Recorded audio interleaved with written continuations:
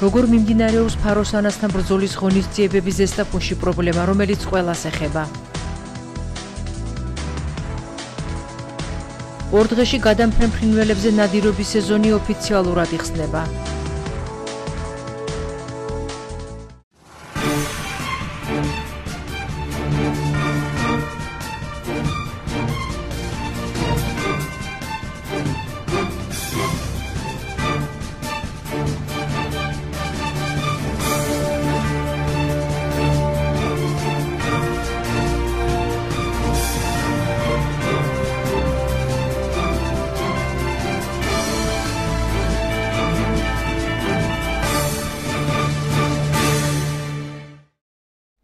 როგორია სახელმწიფოს მიერ შემუშავებული სტრატეგიის შესაბამისად აზიურ ფაროსანასთან ბრძოლის ღონისძიებები.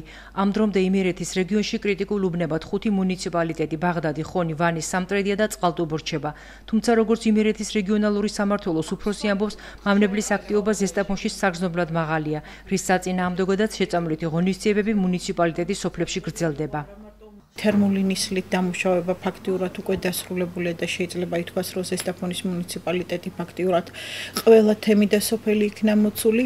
ამ ეტაპზე პერმანენტულად გრძელდება კვლავ შეწამვითი სამუშაოები, მაგრამ ამჟამად შეწამვითი სამუშაოები მომდინარეობს უკვე ქიმიური თხევადი პრეპარატებით. დღეს დღეობით ზესტაფონის დღევანდელი მონაცემებით ზესტაფონის მუნიციპალიტეტში როდინაულის და სვირის თემში შეწამლას ანხორციელებს 3-8 ერთეულ ერთეული სკაუტი ანალოგიურად ეტაპობრივად გაგრძელდება შეწამლითი სამუშაოები სხვა მუნიციპალიტეტებში, მაგრამ სამწუხაროა რომ ერთდროულად შეუძლებელია იმ ერთეული ტექნიკის მობილიზება, რომელიც მასიურად მოიცავდა მთელ მუნიციპალიტეტს, თუმცა არის ამისი მომავალში დაგეგმილი ღონისძიებები, რომ სავარაუდოდ უახლოეს პერიოდში მოხდება ტექნიკის ძალიან დიდი რაოდენობის მობილიზება, რომ მოხდეს ერთდროული შეტევა და ერთდროულად დამუშავება მუნიციპალიტეტის თემისა. ფაროსანას წინააღმდეგ მუდმივ მოქმედებისთვის ესტაფონში თერმიული ნისლის ასევე შესხურების სახით მასიური ფართობების დასამუშავებლად ორი ერთეული სპეცტექნიკა მაისის თვეში იქნა შემოტანილი. ყველა რეგიონში გადანაწილებულია ტექნიკა. კიდევ ერთხელ განმეორდები ის, რომ ნებისმიერ შემთხვევაში, სადაც არ უნდა მოხდეს ცხელი წერტილი და დაფიქსირდება მავნებელი, ჩვენ აუცილებლად მოვახდეთ იმ რაოდენობის ტექნიკის მობილიზებას, რამდენიც საჭიროა. რუსუდან ძიძიშვილის განმარტებით სპეცტექნიკი ძირითადად მასიური ფართობები მუშავდება. კერძო საკუთრებაში არსებული ნაკვეთების დამუშავებაზე კი მოსახლეობამ თავად უნდა იზრუნოს. ტრადიციულად როგორც ვასამუშავებდა იმერელი მოსახლეობა უნდა გაითავისოს რომ ანალოგიურად უნდა დამუშავდეს ყველა სასოფლო სამეურნეო კულტურა. განსაკუთრებით ხას გაუსვავდი თხილის ფართობებს. იმიტომ რომ განსაკუთრებული დაზიანება ფაროსანას მავნეობა გამომშხამდა განსაკუთრებით თხილის კულტურაზე. ამიტომ მოსახლეობას მოუწოდებ რომ მათ აუცილებლად გაითავისონ რომ აუცილებლად უნდა მოხდეს დამუშავება არა მარტო ფაროსანას წინააღმდეგ არამედ იმ მავნებელთა სხვა დაავადებების წინააღმდეგ რომელიც რომელიც ანალოგიურად ზიანს აყენებს არა მარტო თხილს, არამედ სხვა სასოფლო სამეურნეო კულტურებსაც.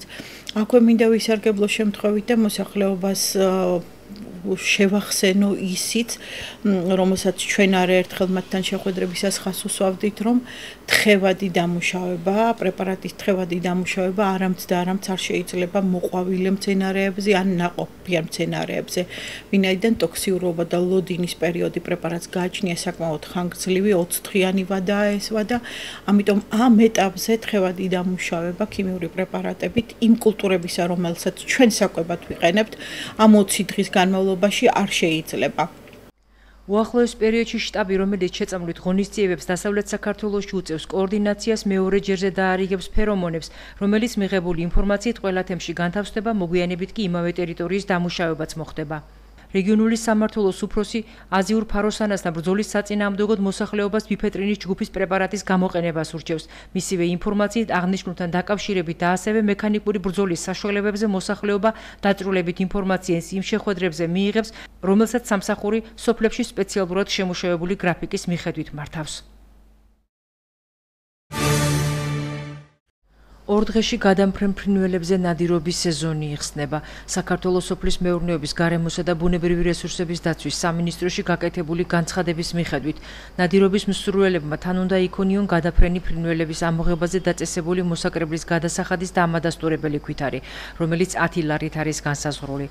მონადირეებს ასევე უნდა კონდეთ შინაგან საქმეთა სამინისტროს მიერ გაცემული სანადირო თოფის შენახვისა და ტარების უფლების და ამადასტურებელი დოკუმენტი. ყველას უსურვებს შვიდობიან ნადირობას ასთავარია, ბარაქიან ნადირობას და შვიდობის წინ დაბრუნებას. ყველა მონადირეს თქო რომ გააფორმოს თოფი, აიღონ სამ სამონადირო მოსაკრებელი არის ასეთი ათლარიელი ლიცენზია რასაც უძახით და თოფი უნდა იყოს გაფორმებული. ამას ითხოვს გარემოს დაცვა და ჩვენი კანონმდებლობა. თოფი უნდა იყოს აუცილებლად გაფორმებული. და გაუფორმებელი თოფის ექვემდებარება თოფი ექვემდებარება ამოღებას, ჯარიმას და სიხლის სამართლის პასუხისგება თავისთავად კიდევ. ნადირობისთვის დაშვებული გადამფრენ ფრინველთა ცალკეულ სახეობებზე დაწესებულია ნადირობის ვადები და დღიური ლიმიტები. ნადირობა იკრძალება საქართველოს ნაკრძალებში, ეროვნულ პარკებსა და მათ გარშემო 500 მეტრიან ზონაში, ასევე საქართველოს ქალაქების ადმინისტრაციულ საზღვრებში. 2018 წლის ერთიანი ეროვნული გამოცდების სააპელაციო განაცხადების მიღება გუშინ დასრულდა. გამოცდის შედეგი, როგორც ინფორმაცია ვრცელდება 2000-ზე მეტმა აბიტურიენტმა გაასაჩივრა. სააპელაციო განაცხადების შედეგებს კი ისინი მომავალ კვირას გაიგებენ. შეფასებისა და გამოცდების ეროვნული ცენტრის დირექტორის მოადგილის ივან მინდაძის განცხადებით, სააპელაციო განაცხადების უმეტესობა ქართულ ენასა და ლიტერატურაში და უცხო ენებში შევიდა. მისივე თქმით, ქულის ცვლილება არ ნიშნავს, რომ აპელაცია აუცილებლად კმაყოფილდება.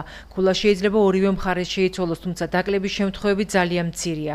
შეფასებისა და გამოცდების ეროვნული ცენტრის ინფორმაციით აპლიკანტებს ფაკულტეტების ცვლილებისთვის დღევანდელი დღის გამოყენებაც შეუძლიათ. Thank you